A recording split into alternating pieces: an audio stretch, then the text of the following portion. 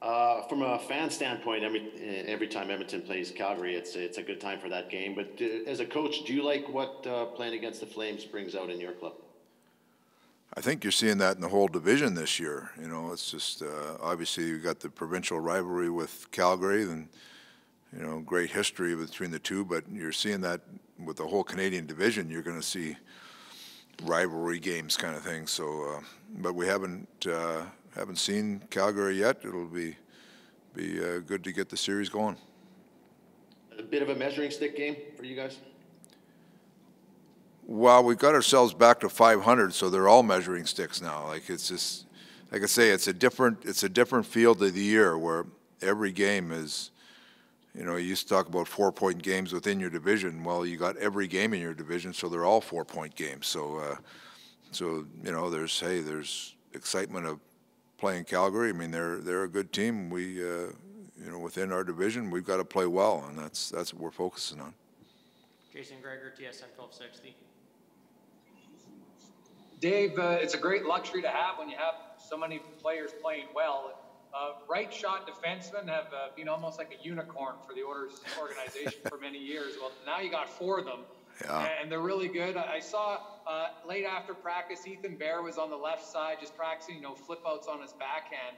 Um, Bouchard took a few reps there. Is that something you think you'll see, or do you just want to see them all on the right side for the time being? You're watching way closer than I am if that's what they're doing out there. So, uh, you know, it's a good problem to have. We have uh, we have you know depth on our defense, and I think we're going to need that and use it.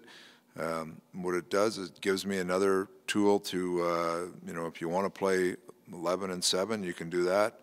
Um, you're looking what you're looking for is you have players in the right roles throughout your lineup between power play, penalty kill, and then it gets deeper than that. You get puck movers, defenders. I mean, there's there's um, a lot more that goes into it. But uh, young Bouchard came in, played well the other night, and uh, so he's put himself in the mix. Just looking at how you ran your practice today, it, looked like Bouchard was with Russell and Lagesson and Larsson and pretty much all the reps. Uh, those two young guys, because they weren't here last year, what have you liked? A very different style of defenders. Very different style. Leggy is uh, a hard player. You know, is uh, as if you watch his penalty killing, he's done a pretty good job there. He's uh, he's real competitive. You know, and that's that's the mo on him coming th up through uh, the organization. He's very competitive, hard hard guy in the corner, stuff like that. Um, you know, and then Bush is coming in. He's a he's a puck mover. He's a you know a guy that's real poised with the puck. Um, the thing about Bo, uh, Bush is his his game, the maturity in, in how he plays and reads situations has has improved. And you saw there's, if you really go through the tape of the game, you'll see some scenarios that I think in the past he might have stood and watched. And you know, last game he was anticipating that, understanding the game better. So they're both young players, but they're both good players and. And you know we're going to play people that give us the best chance to win. This isn't the exhibition season. This is the real thing. So you're putting players in there that you feel like you can win with. Jim Matheson, Postmedia. Uh, a couple of things, Dave. Um, how did you think the 11 and 7 went last game? And is there a possibility that Ethan Bear is ready to play on uh, Saturday? And the other question I have is, what have you seen from Darnell Nurse from when you were here last year? It looks like he's just taken the Oscar Klefbom mantle and, as your top left side defenseman? Well, first of all, on Nursey, he's really, uh, you know, we, we needed somebody to step up and take some of those minutes and not just take the minutes, but take the hard minutes that uh, Klefbom played. And Nurse has come in, he's in great shape, his leadership is really strong, and he's really taken that responsibility. So, uh, you know, if you look at our whole group, he's one of the guys that has moved, you know, really moved ahead and, and taken his game to a new level, which is great. We need that. You know, we need that that defenseman can play the critical times for you is a, is a, a big factor on your team. Bearsy, I haven't talked to the trainers yet. The goal was him to go out and go through a practice, and then we'll see where he is after practice. Um, but he seemed he seemed fine out there, but I haven't talked to him yet, so we'll see where that takes us this weekend. The 11 and 7, did you like it or no? Uh, there was some there was some stuff I liked about it, and then there's some some other stuff. Some of it depends on how much special teams you have, but it gives you uh, it gives you flexibility of roles within the game. So uh, uh, not bad. I'm not ruling it out. You know, we'll just see. It's game to game. Jack Michael, six thirty CHED.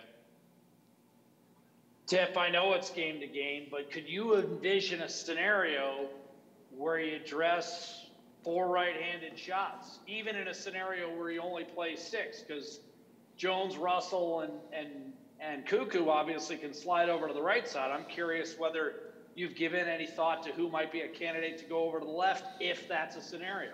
We've had lots of conversations within, but we're just going to take it day by day here until we see. There's always injuries happen. There's things that are coming in and out of your lineup all the time. So we'll uh, we'll take it day by day, and every day we'll try to figure out what's the best chance for us to win.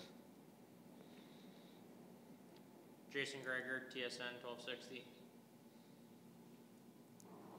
Uh, Dave, going back to Bouchard and you know his spatial awareness and, and being close proximity to his check is, is, something that probably just comes from maturity. But how much of that is just the benefit of being six three, and and how much does the length of your defenders you know change and allow you to be a better defensive team?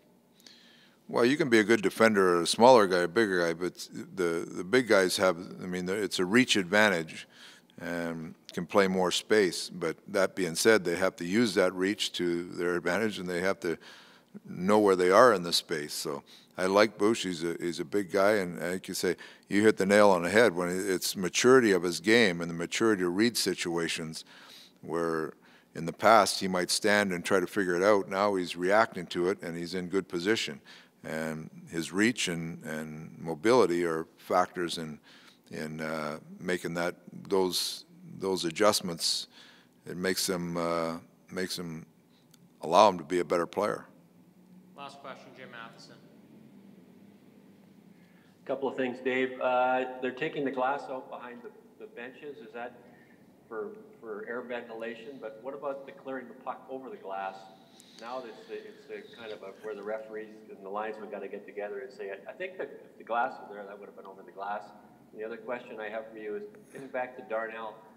He said to me, he said, the longer you play, you realize in my case, I tend to run around a little bit when I was younger, and I realize now that that's not the best way. You just stay in your position and you expend you don't expend so much energy. Yeah, I think that's that's true. That's maturity and and you know a little bit what like we're talking about with Bouchard. He just the especially in defensemen, they they have a maturity that they understand the game. They you know, there's different rush scenarios that are coming down on you, different coverage scenarios, and then the other side that that Nursey is really taking a step forward is when to jump and and the maturity of not just going for the sake of going, but going up the ice with purpose, and uh, all those things. I'll go back to the defense is a hard position to play here, and all those things. The more experience you get in doing them and doing them at, you know, he's done a lot right, and over the years, there's been a lot of times where it wasn't the right decision, but you learn from all those decisions, and it becomes a better player, and that's what you're seeing out of Nurse right now. He's, uh, I love his leadership and, and how he's, his expectations of game, his game are higher, and we're seeing the benefit of that. Uh, as far as the glass, I, I it's, uh, I don't mind the glass coming out behind. It reminds me of the old Maple Leaf Gardens in, in Montreal, where the fans were right there all the time, which is not not wasn't a bad thing. Get some emotion in the game. We won't have fans, but if they need more air blowing, that's I guess that's what it is. The corners of the of the benches will still act as uh, when the when the uh, puck goes over the glass. They use those corners kind of as the uh, barometer. So hopefully we don't get any bad situations like that. But uh, it's just, it's another one of the protocols that we're looking at every day. It seems like there's some adjustments and you have to be willing to roll with it and just adjust as it goes along and hope for the best.